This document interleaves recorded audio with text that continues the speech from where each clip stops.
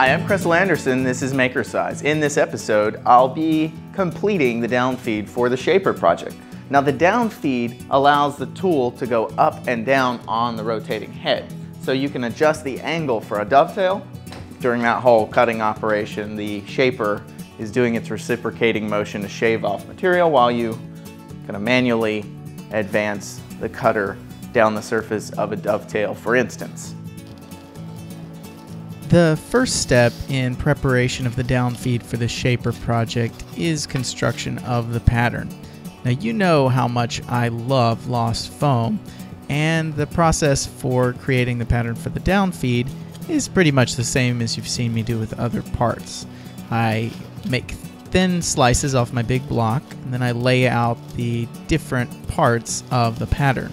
I use my hot wire cutter to cut those parts, and then I assemble them together. Now, in the past, I've used hot glue, but I feel like hot glue really generates a lot of gases in the pattern relative to the polystyrene. So I've started trying to use Super 77 spray adhesive, and so far the results have been pretty promising. I really do like it. After I've got the parts cut out of the polystyrene, I use my sander to clean them up and then I spray on a little bit of adhesive and I test it with my fingernail like the instructions say until it's tacky but won't stick to your fingernail and then I assemble the part. After I've got the part assembled, I check it on the machine to make sure it's roughly what I'm expecting, finish cleanup sanding, and then encase it in plaster of Paris. I made a tree so that way I could cast all three of these parts at the same time and then lastly, I embedded in sand using my vibratory table.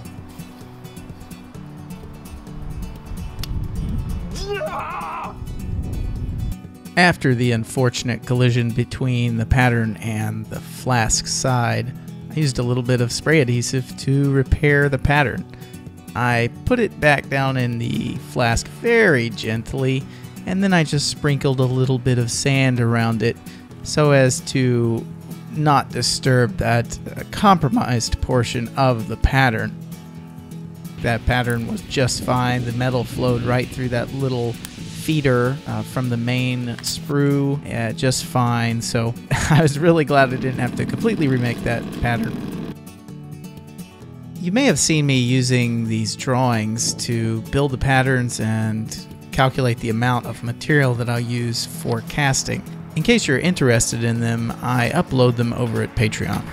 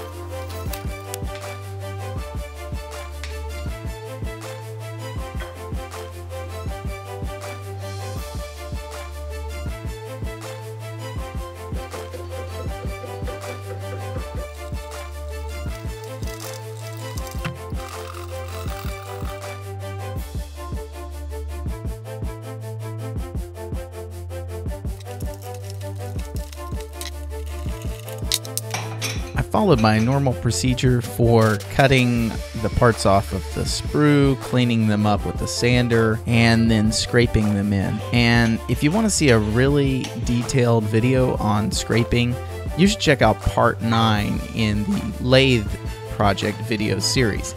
I go into a lot of detail about how I scrape these aluminum parts for the Gingery series of projects. I cut some cold rolled steel to form the clamps that mount to the bottom of the down feed. And then I laid out the holes. I drilled some temporary guide holes. I think those are three millimeter holes. And then I clamped the guides to the down feed and put it in my drill press vise. And then I match drilled the initial fasteners using those guide holes. And I always do just a single fastener to hold the clamps into place where I want them. Once I've got that initial fastener in place, then I go back and do the remainder of the fasteners. So this is pretty much the same procedure that you've seen in previous videos where I make a series of holes, enlarge them, tap the casting, install the fasteners, and then align the clamps so that I can repeat the drill for the remainder of the fasteners. I installed all the fasteners onto the down feed. I did a little bit of filing on the gib to make it fit under that clamp beside of the down feed slideways, and then I took the down feed back over to the drill press to drill and tap holes for the gib adjustment screws. Now these screws are on the left side of the down feed and they adjust the pressure that the gib exerts on the down feed slideways. This allows me to adjust that gib so that there's minimal play in the down feed. Next, I turn my attention to fabrication of the down feed screw. The last video that I made was a centering jig that I used for placing the centers in the end of this rod stock. And I pretty much just put the rod into the drill press vise. I slip the centering jig over the end of it, and then that kind of uh, guides the center drill while it's in the drill press to drill a center that's much closer to the actual center of the rod than I was able to get previously. So I went ahead and installed it in the lathe and got started turning down the part between centers. I really like turning between centers. It even on a lathe, a small lathe like this Gingery lathe that I've made, uh, turning between centers is a very stable way uh, to get a lot of precision out of a small lathe, probably a larger lathe for that matter. But I, I just really uh, enjoy turning between centers where it's possible. I flipped the part around and finished turning the other side of the downfeed screw. Now the diameter that I selected is partly to help guide the die that I'll be using to cut threads in the threaded portion of the downfeed screw. And on the other end, the diameter was selected to correspond to a ball crank that I had cast a couple years back uh, during the lathe project. Back at that time, I didn't have the benefit of the experience I had on my recent video on the Shaper protractor disc, where I learned that a taper makes the arbor a lot easier to drive out. I also didn't have a lathe at the point when I cast this, so there'd have been no way to turn the taper. Long story short, I had to drill out the arbor and then drive it out of this ball crank. Then I took it over to my sander and cleaned it up.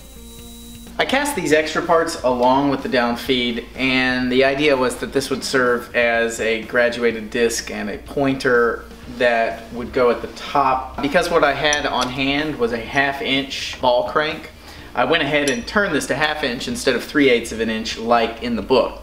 So what I'm going to do instead is I'm going to use one of these graduated discs that I have on hand. Thanks Bob and I'm going to have to open it up a little bit because it's 12 millimeters in diameter. This is a half inch shaft, uh, but it, at any rate, I will drill this for a set screw. I'll drill the ball crank uh, for a set screw, and then I'll mount it all up. I'll need to drill holes in the down feed as well as a hole in the top of the rotating head uh, and then tap that hole and then I'll need to shorten up this down feed screw. on this end and probably need to shorten it up on this end as well. I'll grind a flat for the set screws to bear against and then I should be done with the down feed. I installed the down feed on the down feed slideways and used a series of straight edges and measurements to make markings on both the down feed and the rotating head so that way I could align the holes uh, when I drilled them in the drill press. So I took both parts off of the machine, mounted them in the drill press vise, and then drilled the initial holes separately. I then reassembled the down feed to the rotating head, put it back in the drill press vise, and drilled matching holes. When I ran out of travel on my drill press quill, I had to transfer the vise to the floor and use my hand drill to finish it off. I used the holes as a guide to tap the hole in the rotating head and then I bored out that graduated cylinder in the lathe. I tested the fit on the downfeed screw then I went ahead with installing the set screws in the graduated disc and the ball crank. I double checked my measurement and then I cut the threaded end of the downfeed screw to length. Then I cleaned up the cut on the belt sander. This chuck is awesome. I mean, just simple stuff like taking this washer and making it so it's got a half inch hole on it. That that kind of stuff is super helpful just to be able to pop it in the chuck. Done. Job done. Awesome. This washer is called for in the book to provide a bearing surface where the screw mates with the down feed flange. To give a little bit more clearance for the ball screw, I cleaned up the half inch portion of the down feed screw on the belt sander.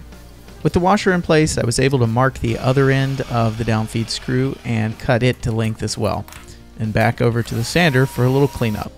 With the downfeed screw completed, I returned the downfeed to the shaper and I installed it and played around with the fit. I used a file to enlarge the hole on the downfeed just a little bit and I kind of scraped the downfeed flange a little bit as well as using some WD-40 to help lubricate the system. After playing with it a little while, I felt like it really had a pretty good fit. Next up is the clapper box and clapper block. This should be one of the most interesting parts of the Shaper project. I hope this project builds your confidence to exercise your inner maker. If you enjoyed the video, click the like button, and if you enjoy the project, consider subscribing to the channel. Thanks for watching.